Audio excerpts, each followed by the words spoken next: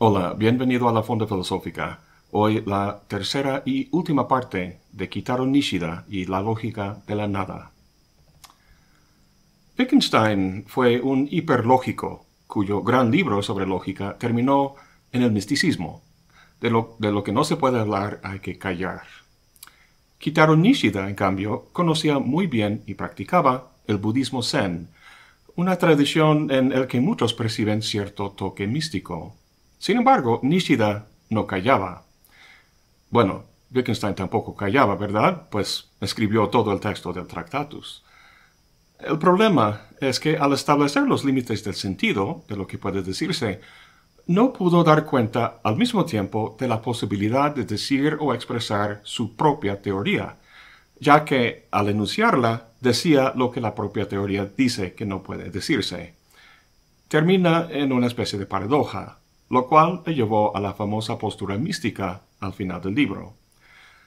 Estructuralmente es el mismo problema que se encuentra en la teoría de tipos de Russell y también en Kant, como discutimos en el último video.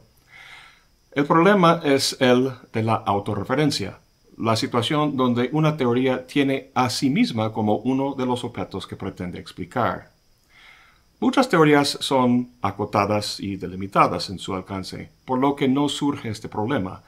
Pero teorías más abarcadoras, teorías que pretenden explicar los grandes contornos de la realidad o de la capacidad humana de conocerla, cuentan necesariamente como uno de los aspectos de esa realidad que quieren explicar. Para Nishida, problemas de autorreferencia surgen debido a la, postura dualista de sujeto y objeto que Aristóteles nos legó y que tomamos como básica y última en el proceso de conocer.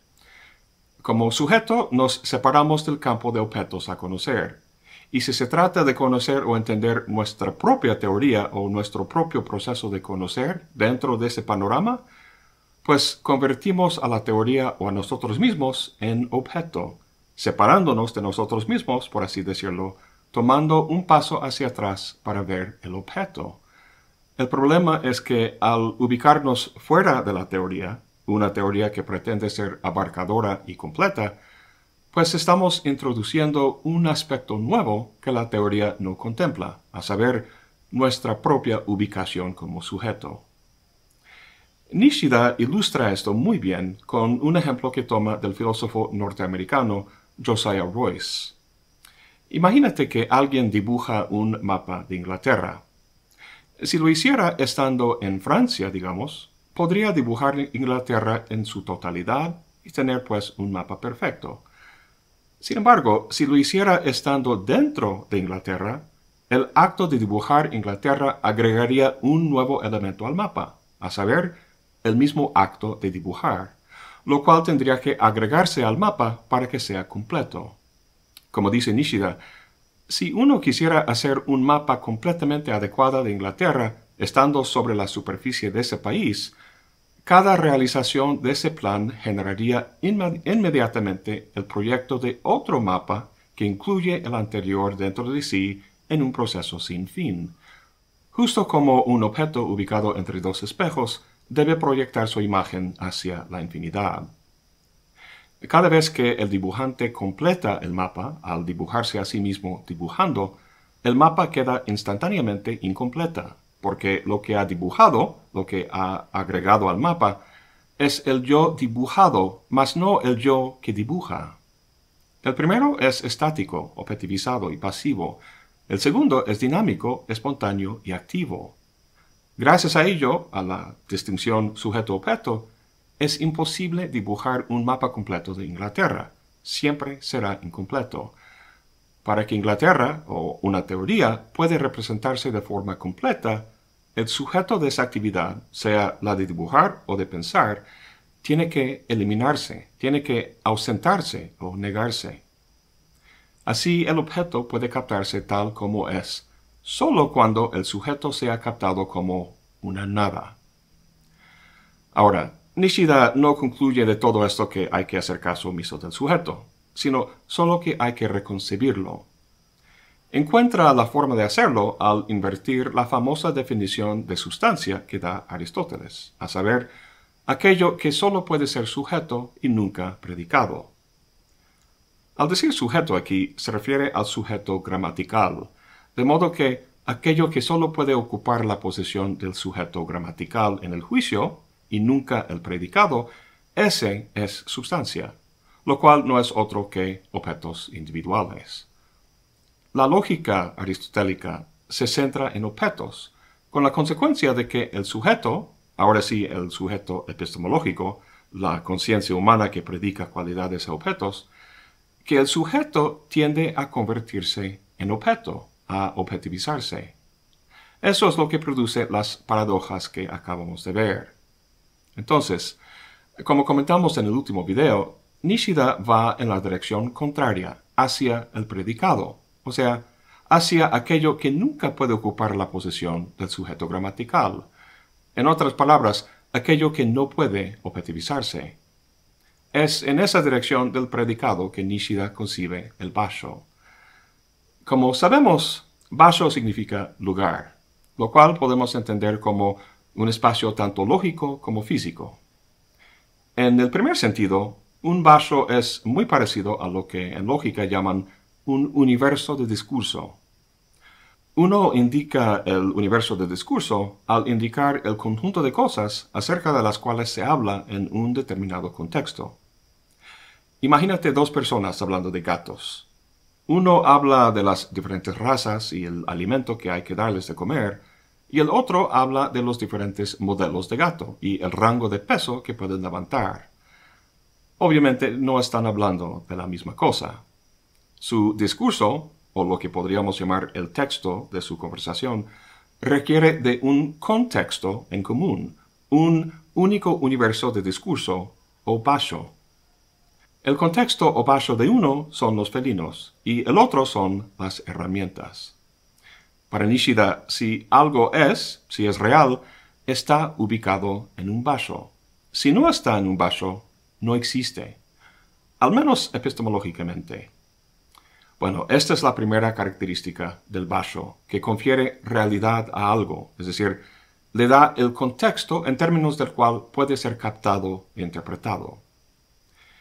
Nishida va en la dirección del predicado o el universal, lo cual acabamos de caracterizar como un universo de discurso o contexto. Todos esos términos son sinónimos, al menos funcionalmente. Además de conferir realidad a lo que se ubica en él, el vaso mismo no es una de las cosas que contiene. El vaso de color no es sí mismo un color. El vaso de herramientas no es sí misma ninguna herramienta.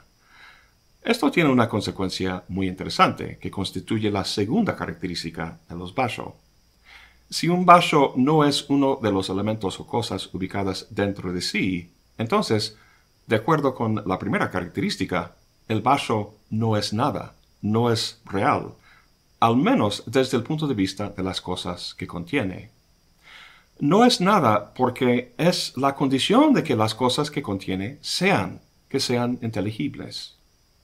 Para que ese vaso determinado se convierta en un objeto inteligible sobre el que podemos hablar, es decir, para que pase de ser predicado a ser sujeto gramatical, tiene que ser miembro de un vaso distinto y mayor. Para dar cuenta de la totalidad de lo, real, Nishida va a plantear una jerarquía de nueve pasos.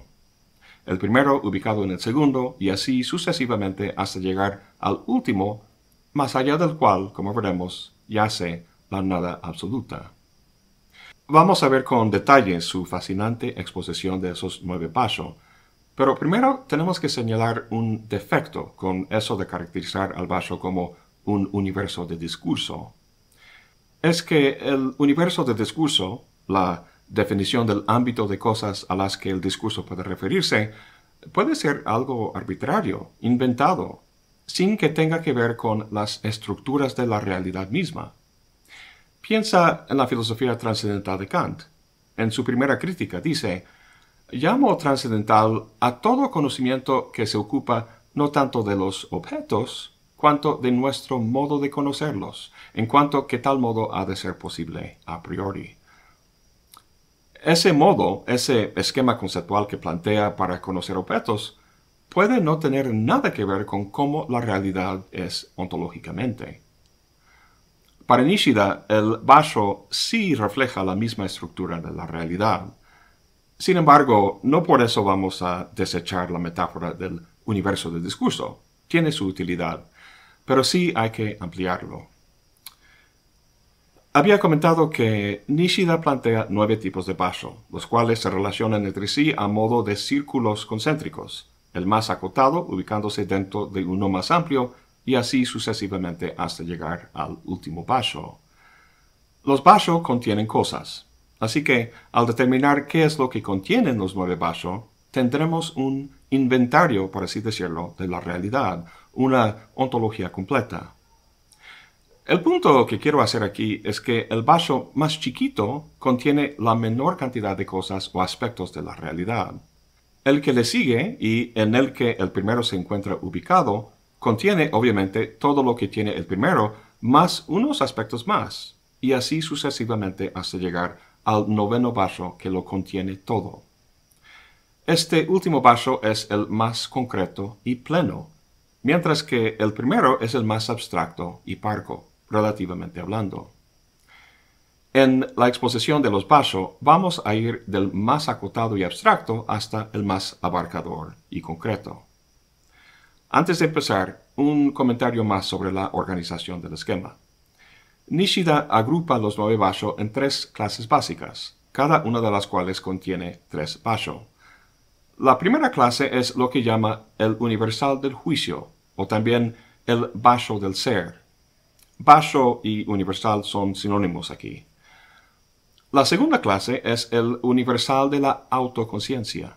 Y la tercera es lo que llama el universal inteligible. Estas últimas dos clases comprenden lo que llama en general el vaso de la nada relativa. He dicho que hay nueve vasos, pero en realidad hay diez. Solo que este último, lo cual Nishida llama el vaso de la nada absoluta, es bastante distinto de los otros, como veremos. Empecemos entonces con la primera clase, el vaso del ser. El objeto de ese vaso, lo que comprende o contiene, es, en términos generales, el mundo natural. Esto te puede extrañar un poco porque dijimos que los primeros vasos son los más abstractos. Sin embargo, para nosotros, el mundo natural parece ser el más real y concreto. Bueno, Nishida se refiere al mundo natural tal como la ciencia la concibe en sus ecuaciones y definiciones. Imagínate la experiencia que tendrías paseando por un jardín, los olores y colores, la sensación en los pies, los recuerdos que suscita, la belleza de las flores y mil cosas más. La experiencia que tendrías estaría repleta de predicados. Y luego imagínate experimentar no solo ese jardín, sino toda la realidad de forma inmediata, sin diferenciación, sin dualidad, tal como Nishida lo describía en su primer libro cuando hablaba de la experiencia pura. Los predicados aplicables a semejante experiencia serían infinitos. Ahora, el mundo que la ciencia nos presenta no es falso, pero sí es sumamente abstracto, porque con respecto a esa infinita plenitud de la experiencia pura, con respecto a todos los posibles predicados que serían necesarios para la descripción de la totalidad de la experiencia humana, la ciencia utiliza un subconjunto muy reducido. Entonces, los tres subvasos que componen el vaso del ser conciernen los objetos del mundo natural. Permiten que hagamos juicios sobre ellos. El primer vaso, el que inicia la serie, Nishida lo llama el universal subsuntivo. El tipo de juicio que posibilita es aquel donde relacionamos una especie con su género. El ejemplo que da Nishida lo vimos la vez pasada. El rojo es un color. Ahora bien, si fuéramos aristotélicos, explicaríamos ese juicio yendo en la dirección del sujeto gramatical, es decir, en la dirección del objeto. El concepto de rojo es lo que ocupa ese lugar en la proposición. Entonces, partiríamos de él y diríamos que el concepto color, que está en el lugar del predicado, es producto de una abstracción que hacemos a partir de nuestra experiencia de ver cosas o sustancias que son rojos, azules, verdes, etc. Lo que todos tienen en común es que son colores. Aquí el concepto de color funge como un universal que subsume el rojo como un caso o ejemplo de color. Bien, Nishida no va en la dirección del sujeto gramatical como Aristóteles, sino, como sabemos, en la dirección del predicado. Lo que es importante entender aquí es que el predicado en el esquema de Nishida, lo que llega a llamar el basho, no es un simple concepto abstracto, sino algo muy distinto. Para apreciarlo, veamos en la historia de la filosofía las principales formas en que se ha entendido la naturaleza del predicado o el universal. Una posibilidad es el nominalismo. Hoy en día, por nuestra mentalidad generalmente empirista y científica, tendemos a ser nominalistas. El nominalismo es el planteamiento de que los conceptos no son más que nombres. No son cosas reales en el mundo, sino meras abstracciones en la cabeza que encontramos convenientes para categorizar y relacionar las cosas de nuestra experiencia. Este nominalismo implica una visión atomista, donde los átomos o individuos, o lo que Aristóteles llamaba sustancias, son la realidad, de las cuales abstraemos cualidades o conceptos como rojo, y de esas cualidades conceptos incluso más abstractos como color, y así sucesivamente. Al otro extremo del nominalismo está el platonismo. Los conceptos o universales o ideas, como Platón los llamaba, son lo más real y existen apartados en un mundo puramente inteligible. Como sabemos, Aristóteles criticó las ideas de Platón. Para él, los conceptos no están en su propio cielo, sino en los individuos mismos, como una estructura inteligible. Entonces, Aristóteles no es platónico, pero tampoco un mero nominalista, sino que ocupa una postura entre los dos. Si para Aristóteles los universales están en los individuos, para Nishida es al revés los individuos están en los universales, por así decirlo. Nishida se apoya aquí en Hegel y su idea de un universal concreto. El universal que hemos visto hasta ahora en el nominalismo y el platonismo es abstracto. ¿En qué sentido? Pues el concepto perro subsume e identifica todos los perros particulares, así uniéndolos en una clase, pero esa unidad se basa en un denominador común muy parco y simple. Así, el concepto los identifica como pertenecientes a un género, pero no por eso logra expresar lo que plenamente son, es decir, no expresa su relación con otras especies, con la naturaleza, ni con la sociedad humana. La realidad de los perros es una función de un contexto muy complejo, cosa que un concepto abstracto no capta completamente. Y es por eso que es una abstracción, porque lo que nos permite saber del individuo no es más que una abstracción de su realidad plena. El universal abstracto de perro reduce todos los perros a una llana uniformidad. Con su noción de un universal concreto, Hegel busca remediar este problema. Busca unir muchos individuos distintos sin negar o abstraer sus diferencias. Entonces, ¿cómo entender eso de que los individuos están en el universal? Como Hegel dice en la fenomenología del espíritu, la verdad es la totalidad. Un individuo no puede entenderse o captarse al margen de la totalidad a la que pertenece. En nuestro ejemplo del perro, la totalidad es el universal perro, lo que podríamos llamar la caninidad mejor usar la raíz canino para decir eso en vez de perro, porque es muy difícil pronunciar perroidad. Bien, entonces la caninidad por un lado y por el otro todos los caninos o perros individuales que existen. Para Hegel, al igual que Aristóteles, la caninidad no existe platónicamente, independiente de los perros individuales. Más bien, todos los perros individuales son las partes que constituyen la totalidad que conforman el universal perro. Pero al mismo tiempo, esa totalidad yace de forma inmanente en todas las partes. Con cada perro que llega a existir, diferentes aspectos de la caninidad se expresan, pero ningún individuo expresa completamente la totalidad. Para Hegel, la caninidad es un universal concreto, porque es constituido por todos los perros efectivamente existentes. La totalidad es lo que es solo en y por las partes, y las partes son lo que son solo en la medida en que sean una expresión de la totalidad. Ahora estamos en mejores condiciones de entender la noción de basho en Nishida, lo que quiere decir cuando dice que va por el lado del predicado. Volvamos a la proposición rojo es un color. Esta relación de sujeto-predicado es también una relación de especie-género. Decir que rojo es un color significa que rojo es una especie de color, una especie del género color. Los nominalistas que tratamos hace poco van por el lado del sujeto, del objeto individual, y de ahí abstraen el género.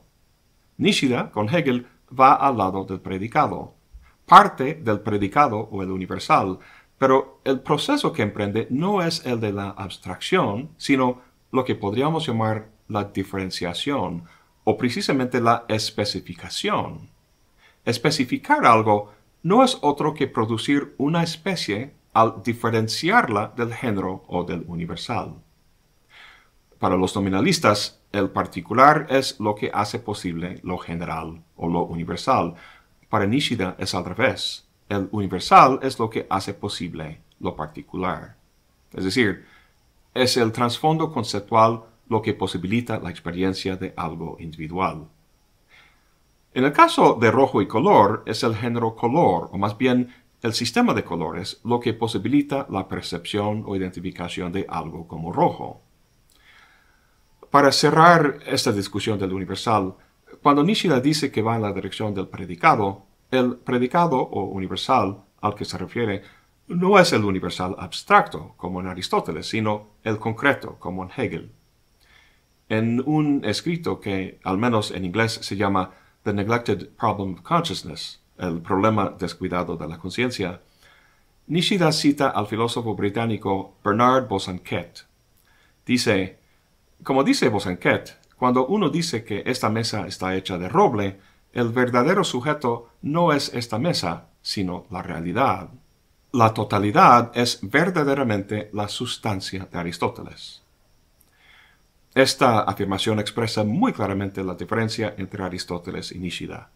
Para Aristóteles, la realidad, la sustancia, está en la dirección del sujeto gramatical, el objeto individual, la mesa. Para Nishida, la realidad está en la, la dirección del predicado, la totalidad, la cual en parte se expresa en esa mesa. Hay que recordar nuestra discusión de la experiencia pura en el primer video, la realidad no dual e indiferenciada que postulaba Nishida. Esa es la realidad a la que hace referencia aquí, el punto de partida en nuestra experiencia que se expresa posteriormente en términos dicotómicos y objetivizados. Bueno, con todo eso clarificado, podemos volver a nuestro primer vaso, lo que llama el universal subsuntivo. El tipo de juicio que posibilita es X es Y, rojo es color. Hay dos cosas que hay que notar. Primero, y como comentamos hace rato, el predicado no puede figurar como sujeto gramatical en el vaso de los colores. El color no es sí mismo un color. Desde el punto de vista de los distintos colores, el color como tal no es nada. Como comentamos la vez pasada, en inglés nada es nothing, literalmente no thing. El color no es ninguna cosa dentro de su propio vaso. Para visibilizar el color, para poder hablar de ello y predicarle cosas, hay que colocarlo en un vaso distinto. Bueno, esa es una cosa que hay que notar. La segunda es que lo que ocupa la posición del sujeto gramatical en el juicio no es un individuo. Rojo, por ejemplo, no es un individuo. De hecho, es sí mismo un predicado, un universal. En el marco aristotélico, los universales no nos dan conocimiento de un individuo. Por ejemplo, ninguna cantidad de universales jamás podría determinarme a mí como objeto de conocimiento. Se podría decir que soy hombre, de origen estadounidense, de cierta edad, de cierta estatura, youtuber, profesor de filosofía, etcétera, etcétera. sin nunca llegar a especificar la singularidad que soy yo. Como consecuencia, el conocimiento que este vaso posibilita es bastante limitado. Rojo es un color. Los seres humanos son bípedos. Los átomos se componen de electrones, etc. Pero nuestro conocimiento no está limitado a generalidades como estas. Tenemos, de hecho, conocimiento de individuos, por lo que, según Nishida, ha de haber algún universal que lo posibilite. En pocas palabras, tenemos que pasar a un vaso más inclusivo, uno que llama el universal del juicio. En este vaso, los individuos ocupan el lugar del sujeto gramatical, pero el predicado no es un universal abstracto como en el primer vaso. No lo es porque acabamos de decir que semejantes universales no pueden dar conocimiento de los individuos. Es más bien un universal concreto, como comentamos con detalle hace poco. Juicios hechos en este vaso indican individuos y les predican cualidades o propiedades. En términos aristotélicos, este vaso es el de las sustancias y sus atributos. Sin embargo, hace un año tenía yo 56 años de edad, ahora tengo 57, y hace tiempo era profesor universitario, pero ya no lo soy. En pocas palabras, mis atributos no son estáticos, sino que cambian sobre el tiempo. El conocimiento que tengo de mí mismo y de cualquier otra cosa que existe en el mundo es un conocimiento temporal, por lo que hace falta pasar a un vaso que incorpore ese aspecto de la realidad, el tiempo. De esa manera podemos dar cuenta de sustancias no simplemente estáticas, sino que perduran en el tiempo, es decir, sustancias que, aun cuando se cambien sus propiedades, conserven su identidad. Pasamos entonces del universal del juicio a lo que Nishida llama el universal silogístico. Estos tres en su conjunto pueden caracterizarse como el vaso del ser.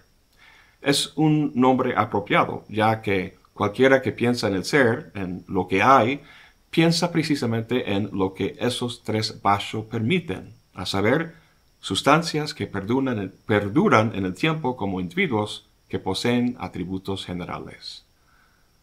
En términos generales, esos son los tipos de cosas que la ciencia trata. Sin embargo, faltan seis pasos más, lo cual quiere decir que todo el conocimiento que los primeros tres pasos posibilitan no agota la totalidad de nuestra experiencia. Para dar cuenta de toda ella, tenemos que pasar a un cuarto vaso más abarcador. Lo que concretamente suscita el paso a otro vaso es un problema provocado por la naturaleza del tiempo. Como acabamos de comentar, con la introducción del tiempo podemos dar cuenta del cambio, pero para ello es necesario un sujeto que esté consciente del tiempo. ¿Por qué? Porque las cosas que experimentamos en un momento dado son llevados por el tiempo al pasado, como un río lleva una hoja que cae sobre el agua. Para que los distintos momentos de la experiencia no sean desconexos, para que lo que acaba de pasar se aprecie como una continuación de lo que está pasando en este momento, hace falta una síntesis, es decir, la reproducción de aquel momento en este para que estén unidos, continuos, y así sucesivamente con el paso del tiempo. Lo que lleva a cabo esta síntesis es la conciencia. Gracias a ella podemos conocer todo el mundo a nuestro alrededor. Bueno, todo menos una sola cosa, la propia conciencia. La sabiduría de Grecia antigua decía, conócete a ti mismo, pero la verdad no es tan fácil. Puedo ver mi cuerpo y convertirlo en un objeto de conocimiento sin problema, pero cuando trato de conocer la misma cosa que conoce, cuando dirijo la mirada conocedora a sí misma, a mí mismo, sucede algo curioso. El yo que conozco, que se convierte en objeto de conocimiento, no es el yo espontáneo y activo que conoce, sino solo una representación de esa espontaneidad que el tiempo lleva inexorablemente al pasado. El yo que conozco nunca es el yo activo y conocedor, sino el yo pasivo y conocido, como la mariposa sujetada con un alfiler, muerto y estático. En El ser y la nada, Sartre trata esta diferencia en términos del ser en sí y el ser para sí. El primero es cualquier objeto físico y el segundo, el ser para sí, es la conciencia. La conciencia para Sartre y para Nishida nunca puede convertirse en objeto, en un mero ser en sí. Tenemos entonces que si nos delimitáramos a los primeros tres basho, los que conforman el basho del ser, nunca podríamos cumplir con la demanda socrática de conocernos a nosotros mismos. Es por esta razón que hay que pasar a un basho más amplio. Por cierto, antes de pasar al siguiente basho, el problema de la autorreflexividad que hemos identificado aquí es precisamente el problema con el que se toparon Russell y Wittgenstein y los demás que vimos en el video anterior. Bueno, vamos a ver cómo Nishida resuelve este problema. La primera triada de Basho se llama el Basho del ser, y sus objetos son los del mundo natural. La segunda triada es lo que Nishida llama el Basho o universal de la autoconciencia. Ahora, como acabamos de hacer, hay que distinguir entre la autoconciencia espontánea y activa, por un lado, y la pasiva y representada por el otro.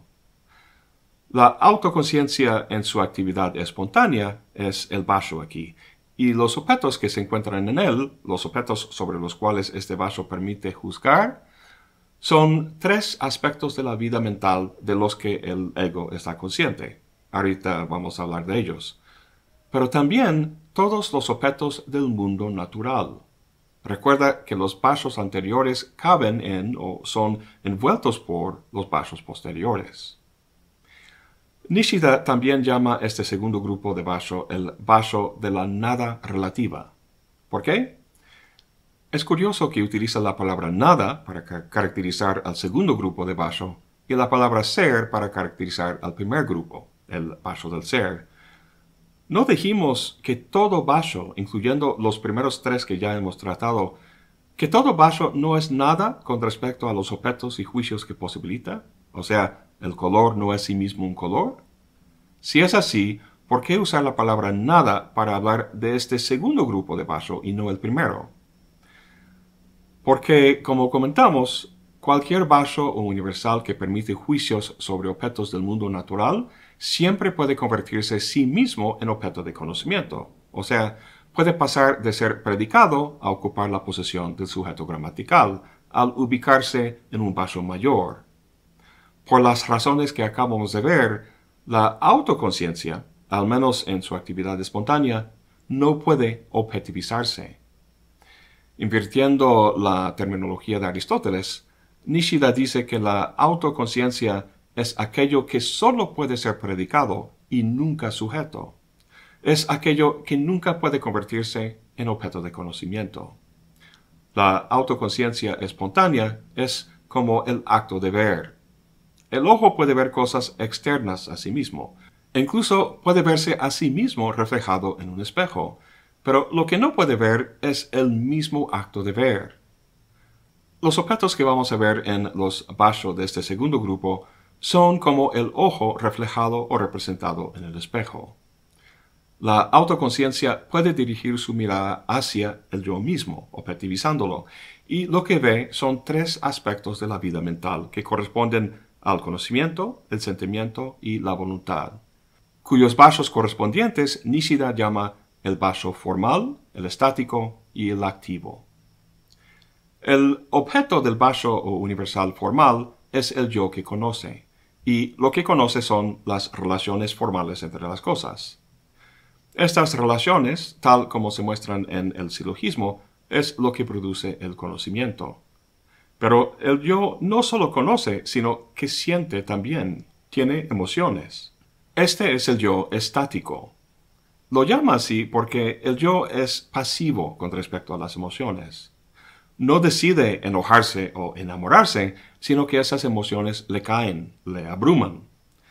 Si las emociones nos determinan en alguna medida, somos también capaces de determinarnos a nosotros mismos.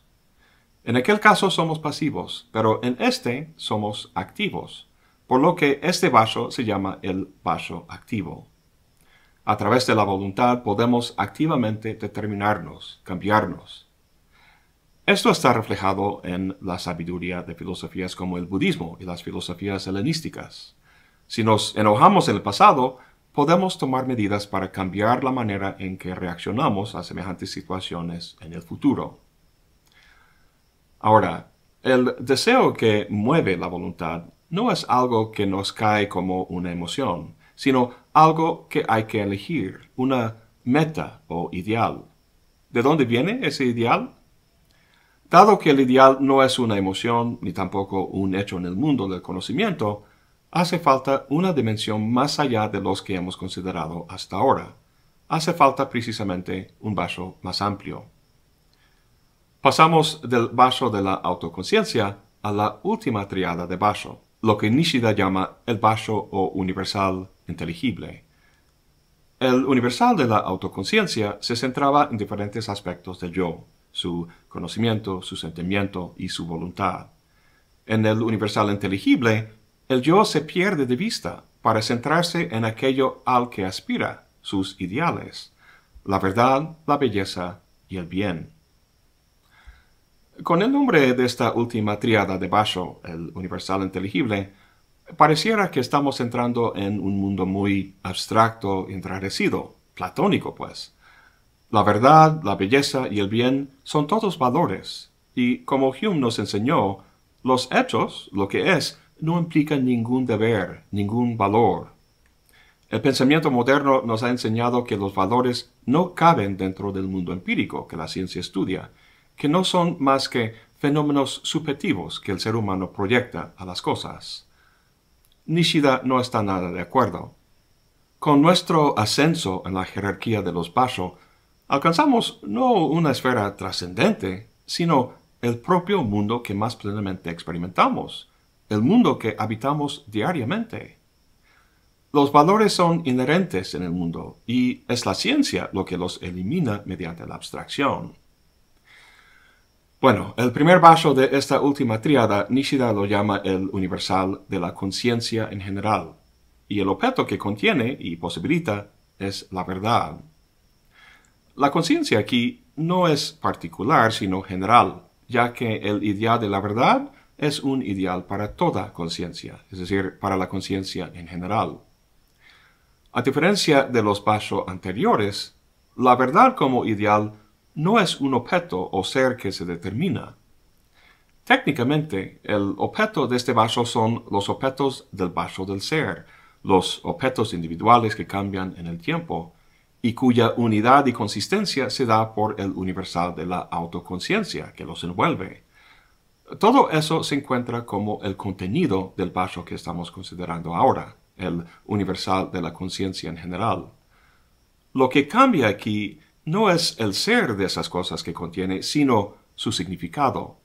Ahora tienen sentido o valor, específicamente el valor de la verdad. En cierto sentido, entonces, la conciencia general no tiene contenido propio, está vacío, ya que el ideal de la verdad que le corresponde se experimenta como algo externo, un ideal que tiene que alcanzar. Para superar este conflicto y experimentarlo como una expresión propia, hay que pasar a otro vaso, el que Nishida llama el yo inteligible sentiente. El contenido de este vaso es un sentimiento, uno que se distingue de la gama de sentimientos y emociones que experimentamos en la vida cotidiana. En el día al día, el ego tiene propósitos y metas que los objetos a su, alrededor o bien facilitan o impiden, por lo que el ego siente atracción o rechazo a ellos. Pero hay una experiencia que se distingue de esta cotidianidad, la de la experiencia estética, la intuición y contemplación de una obra de arte. El sentimiento que se produce se manifiesta como belleza. En semejante experiencia, el objeto estético deja de ser algo que simplemente conocemos o que manipulamos de forma instrumental y que experimentamos con una profundidad poco común. Se presentan con un nivel de detalle y plenitud que se debe en parte al hecho de que nuestra conciencia de nosotros mismos como sujeto desvanece frente al objeto estético no estamos conscientes de estar conscientes del objeto. simplemente hay conciencia de ese algo. Esta conciencia directa es una expresión de nuestro sentimiento. Aquí, el contenido de este vaso, sentir la belleza, no es un ideal externo que hay que alcanzar, sino que está inmediatamente presente. Entonces, estamos directamente conscientes de la belleza como idea, como algo inteligible, pero el yo se ha perdido. Este yo hay que recuperarlo, ya que sin él no hay experiencia propia. Pasamos entonces del vaso del yo inteligible sentiente al yo inteligible volitivo. Este último vaso de los nueve tiene como contenido el bien y corresponde al yo moral, al libre albedrío. El sentimiento estético del vaso anterior es la base para la creación artística. El yo puede crear algo bello y así expresar ese sentimiento. El yo volitivo de este último vaso va un paso más. No solo siente ese contenido, sino que puede actuar para transformarlo o modificarlo. El yo volitivo es claramente un reflejo de la razón práctica de Kant, la cual no está determinada por reglas ni por hechos, sino que determina libremente a sí mismo.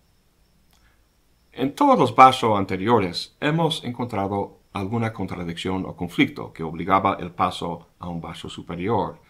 Este noveno vaso no es la excepción. El conflicto,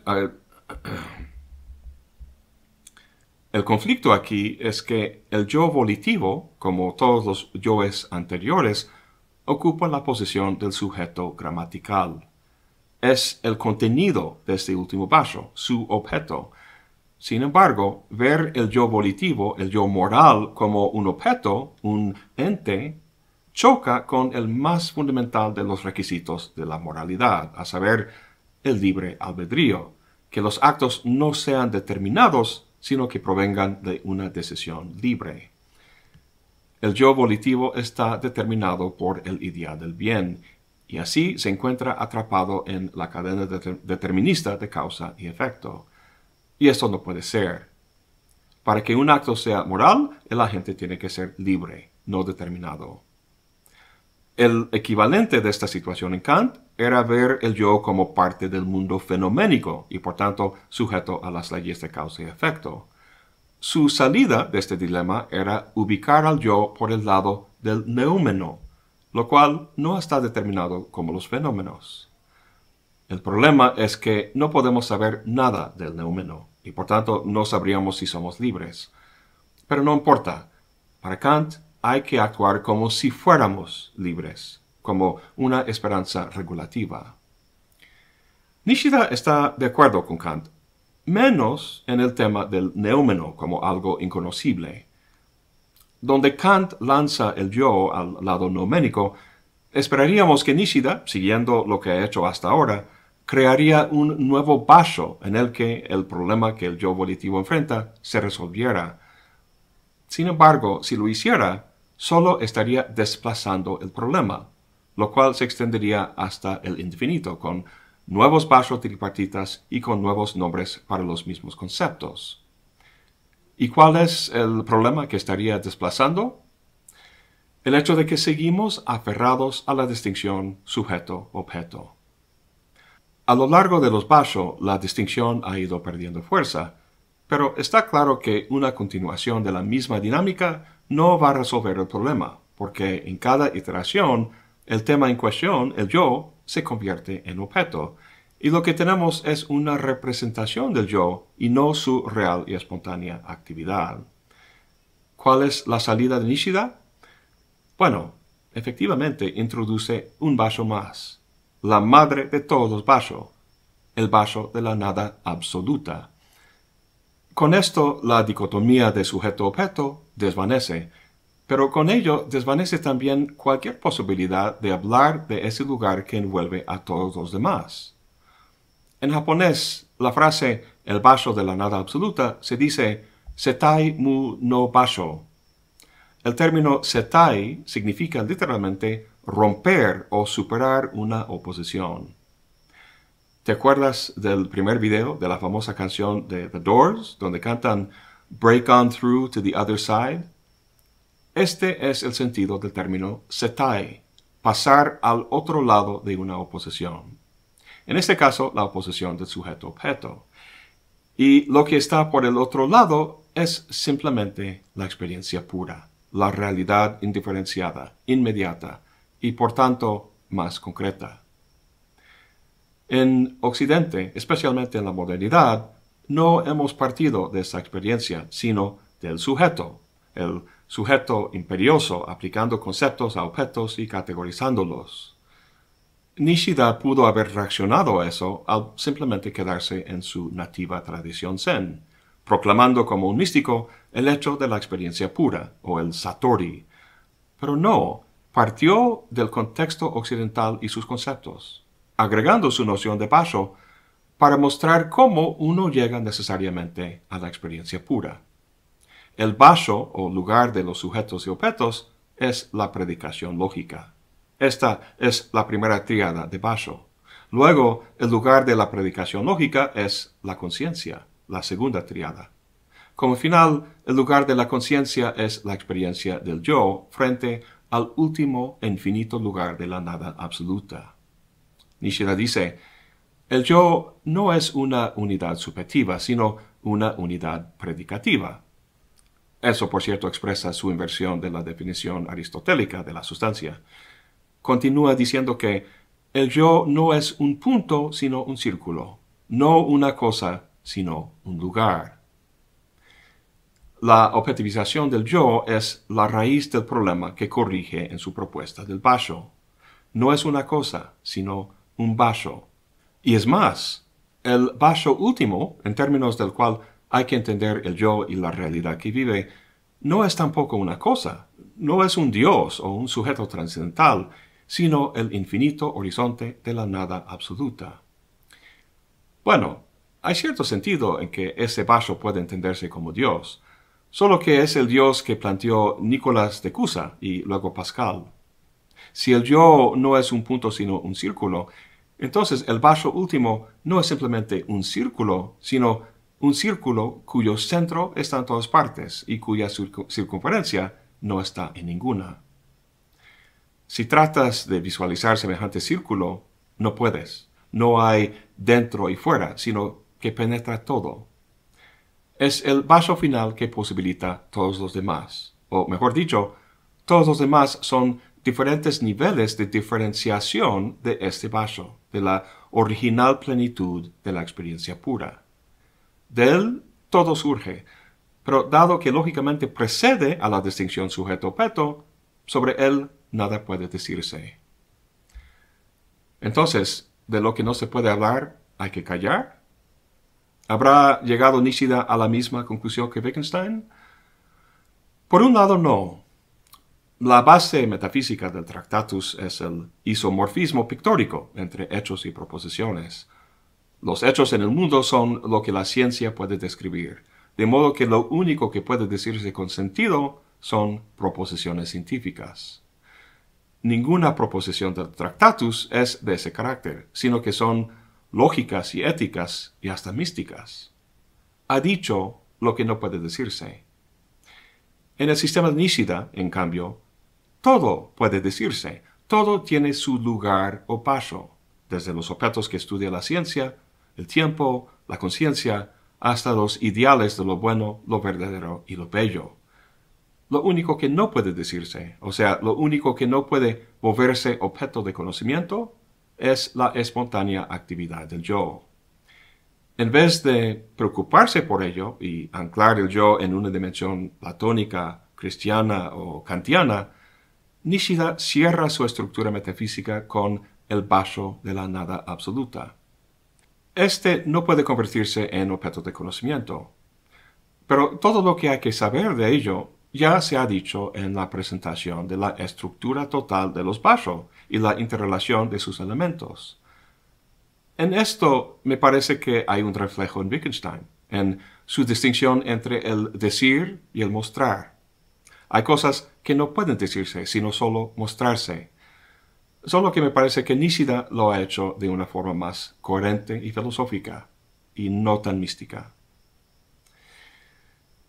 En el último video dije que iba a relacionar este planteamiento de Nishida con ideas de Francisco Varela, Jean-Paul Sartre y David Bohm. Bueno, muy rápidamente.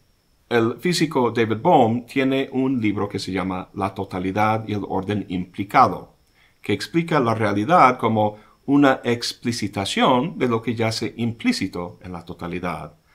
Es muy parecido a la relación en Nishida entre el individuo y el universal como aquel depende de éste. En cuanto a Sartre, ya comparamos sus conceptos del ser en sí y el ser para sí con el planteamiento de Nishida. Además, lo que Sartre dice sobre la conciencia en su libro La trascendencia del ego se parece mucho también a lo que dice Nishida sobre la conciencia. Como final, hay un video donde Francisco Varela habla con admiración sobre las ideas de Nishida. Voy a dejar la liga en la descripción. Su concepto de autopoiesis me parece que incorpora la naturaleza de la conciencia tal como Nishida la entiende. En fin, me gustaría hablar más de esas cosas, pero ya me he extendido mucho. De hecho, creo que este es el video más largo que he hecho en toda la fonda. Así que ya es hora de callarme. Eso es todo por hoy. Gracias por acompañarme. Hasta la próxima y buen provecho.